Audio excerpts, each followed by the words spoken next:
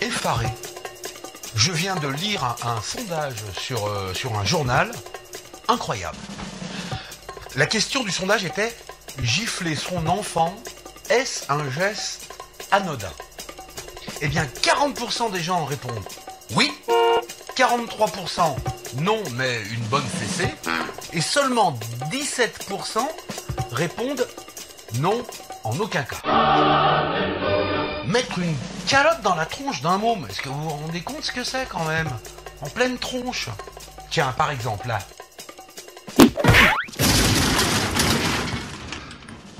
Et, encore là, c'était ma grand-mère.